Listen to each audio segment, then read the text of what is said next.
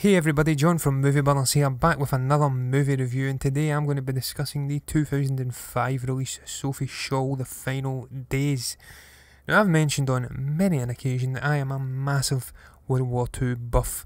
I like to think I'm reasonably knowledgeable on the subject, and I've certainly seen some amazing visceral films focusing on the two distinctive theatres of conflict and also the myriad of different battles within.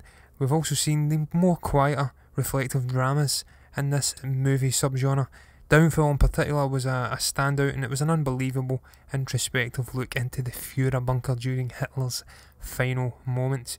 And you know what, Sophie Scholl, The Final Days, is very much in the same mould and vein as that modern classic. It's essentially about a young 21 year old woman who was a student member of the White Rose, an anti war resistance group that distributed leaflets around southern Germany between late 1942 and early 1943.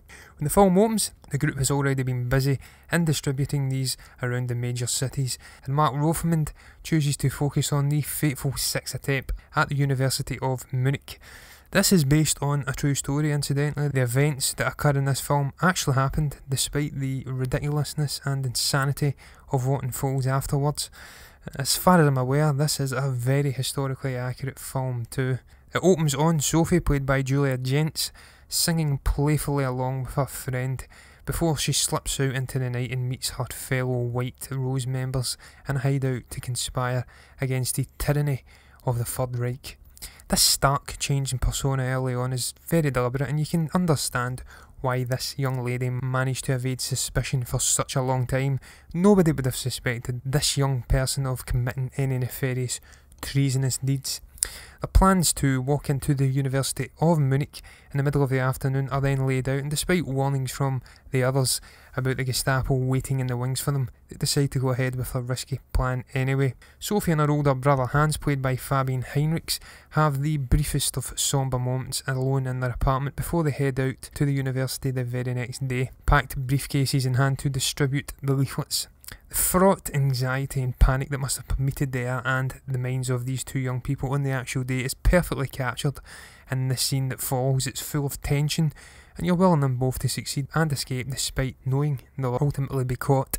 The person responsible for their capture, ironically, isn't a member of the infamous Gestapo, but instead a sycophantic little weed of a janitor. He's an ordinary man.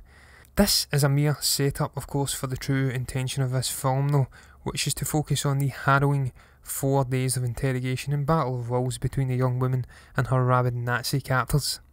This is a character driven, extremely dialogue heavy film, and the overwhelming majority of dialogue takes place between both Sophie and Robert Mohr, played by Gerald Alexander Held, the man who is charged with investigating her. Now, I say investigating, but in truth, it's more like a psychological game of chess in earlier moments between the pair. Mohr knows full well that she's responsible, but Sophie excellently dances around his determined probes time and again, always seeming to have an answer or explanation for every scenario that he puts forward. In the end, though, it's a small throwaway detail in the apartment seen earlier involving stamps that proves to be her undoing. That and her brother providing a full admission, of course. But these exchanges between the two that took up a large chunk of the middle act of this film were utterly mesmerising for me. I couldn't take my eyes off the screen which was all the more remarkable given it is entirely in German, this film. Now, one thing that always struck me about films set in World War II, and indeed the stories that helped inspire them, was just how young some of the central players were. The likes of the legendary Dick Winters, propelling Easy Company in the Allied counter assault in France during his mid 20s. And in this film, it's much the same. This was just a 21 year old woman displaying a courage and a steadfast conviction in her beliefs in the midst of a truly horrific situation that frankly would have put the overwhelming majority of my generation to shame. Sophie Scholl's unwavering spirit and determination is what I really took away from this film, and I forget the feeling that was the intended takeaway. She's a heroic figure in Germany even to this day, and it doesn't even try to flesh out the other main players like her brother Hans or the Christoph Probst character played by Florian Stetter.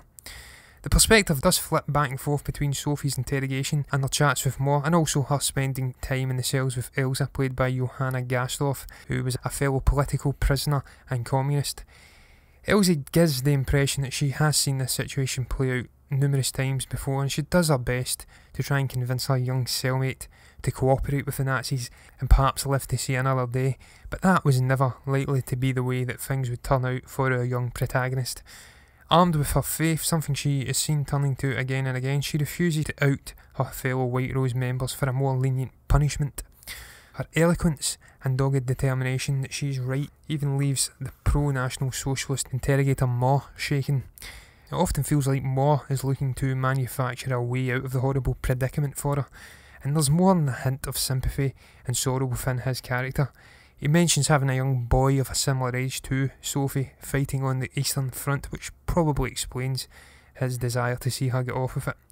Now on to the final part of the film. It zips along very speedily indeed, with Sophie, Hans and Christoph being brought up in front of the infamous Roland Freisler, played by Andre Hennicke, a man named Hitler's blood judge.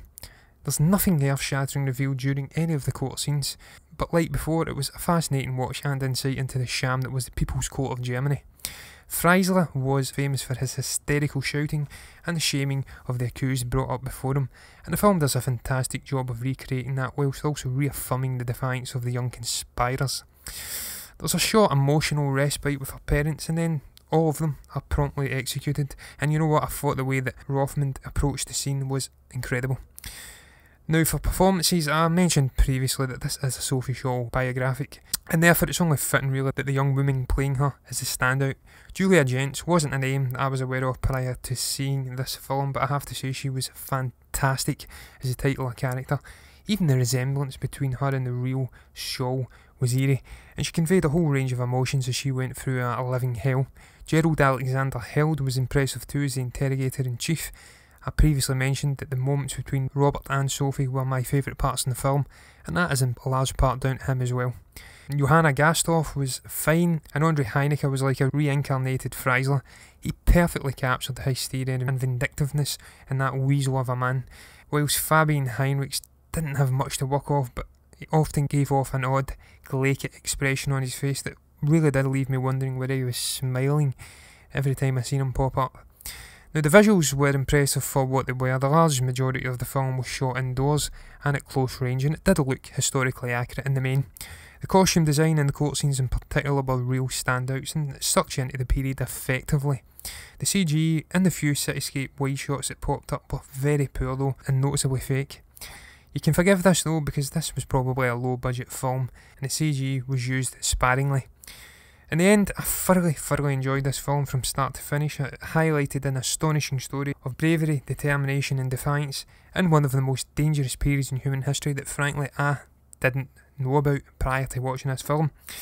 I'm sure there were other acts of courage like this in Nazi Germany, but none seem to have had the wide ranging impact that the young Sophie Scholl and the other White Rose members' sacrifices managed to have.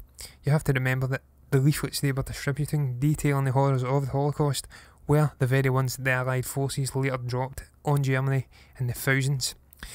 The film itself was poignant, highly emotive, and it featured a couple of brilliant acting performances, and I highly recommend giving it a watch, even if you're not remotely interested in the World War II period as a whole.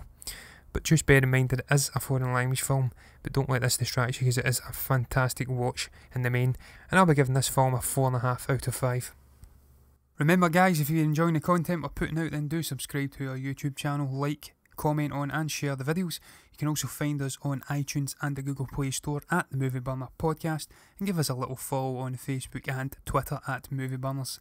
If you fancy a spot of casual reading then all our latest written reviews and the occasional article can be found at movieburnerentertainment.org. Until the next time, goodbye.